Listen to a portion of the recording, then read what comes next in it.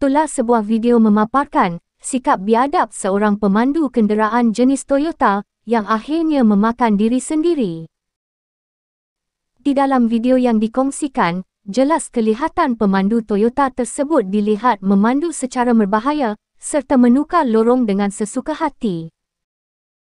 Mungkin pemandu ini telah terbiasa memandu secara biadab. Namun kali ini beliau tersilap memilih lawannya apabila kenderaan Toyota tersebut tidak diberikan laluan oleh sebuah lori.